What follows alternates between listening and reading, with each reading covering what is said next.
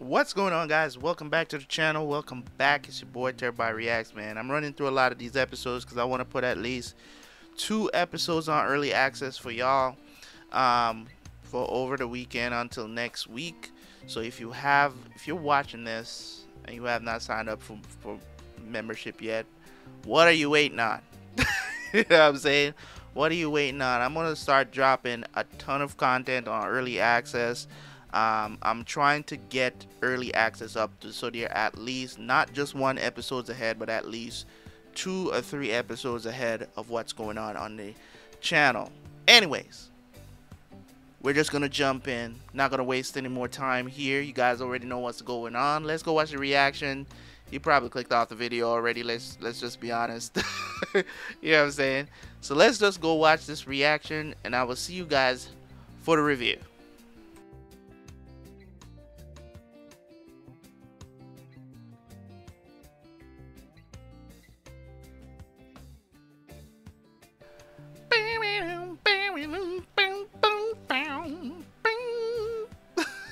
Anyways, awesome episode, episode 3 of season 2. I am binge watching right now because I want to have early access going. Yes, have a lot of early access going. Anyways, thank you guys so much for tuning in, as always, for the review. If you are here for the review, I am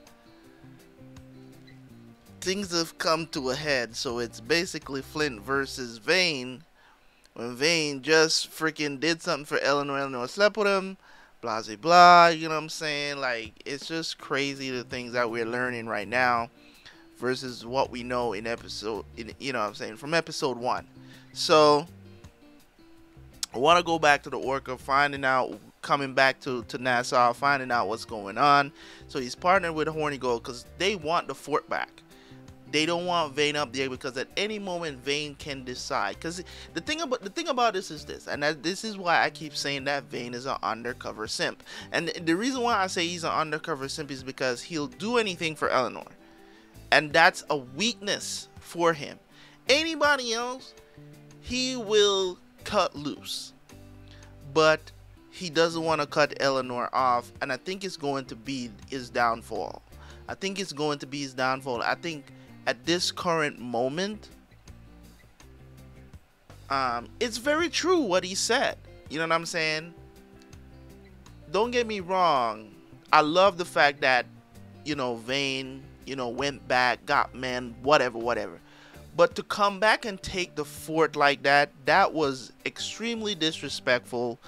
Um, you know what I'm saying? To the order of things that were going on there. And Eleanor should have had a better pushback.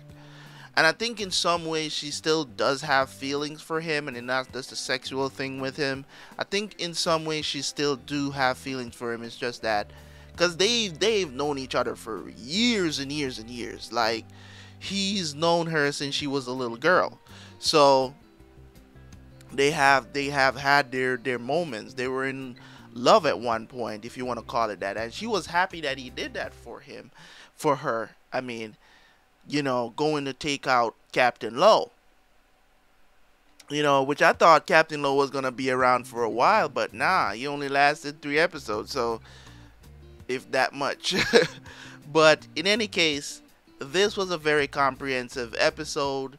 Um, just forwarding the story, nothing too deep to dive into, um, other than you know just like Flint's personality from back in the day versus now um, is like the flashback of how they got together, and that's why I'm wondering, like the way how she phrased what she said, it didn't seem like the husband mind her having affairs, the way how she phrased it, or he could just be concerned, like oh they're just rumors i don't care you know what i'm saying i know my wife loves me it could be that situation too so i don't want to jump the gun and say that you know what i'm saying he's cool with his wife sleeping with other dudes or or whatever, he would have to say that for me to understand it. Like, you know what I'm saying? Because maybe you know because he's super busy, bigger picture, whatever. He don't care what his wife does.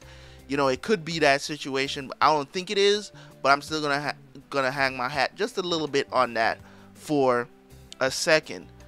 Um, so they need to go back and get the gold. So they don't want to waste time, you know. So they want to get Vane out of the fort. And in my opinion, I think Vane should give up the fort. You got a ship. You just literally took out Captain Low. That's your ship now. You want to be underwater so bad? Take your crew and go sail. You get what I'm saying? You don't need to be in the fort anymore. You can give up the fort. And I in in some ways I think that's what's going to happen, but I but I think he's to probably be defeated first and then he go I don't know. I don't know. I'm just making predictions for the storyline because that's that's just what I do. Like my brain just started playing out different different scenarios of what could possibly happen, and I just spew them out in my reviews and stuff. Um, but I do see them. Um, he's bring the holy. I mean, he has a Spanish gallon. He unleash cannons on that on, on Nassau. You know what I'm saying? So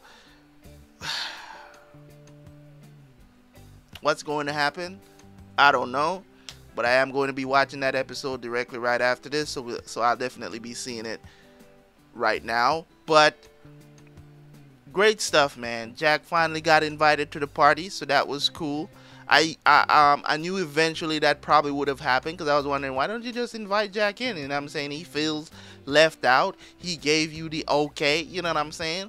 Let, let him enjoy himself too, you know what I'm saying? Because it's not I don't think it's a love thing between her and Max. I don't think it's a love thing. You know what I'm saying? I just think it's just like, yo, we doing this because, you know, she could do it better. You know what I'm saying? But hey, I'm saying, in my opinion, there's a reason why we have two different organs. You know what I'm saying? You know what I'm saying? So, yeah, you might be able to to lick it. You know what I'm saying? But I could get the action in there. You know, good. I don't think back then they had, you know, the, the dildos. you know, I don't think they had those back in the day. So, you know, you need the thrust. You know what I'm saying? So, yeah, that got a little weird, but I don't want to say. You gotta pick and choose your words when it comes to YouTube sometimes, because you don't know what they're gonna demonetize you for, you know. Um, but in any case, Thank you guys so much for checking it out. I'm to go check out episode 4. If you are watching our early access, thank you guys so much, man. I appreciate it. Whenever you guys see this, make sure you consider joining the early access. Only $2 a month. Um, I'm going to try to get stuff out on early access um, for y'all. In any case, thank you guys so much. I will see you guys for the next one. And as always, peace.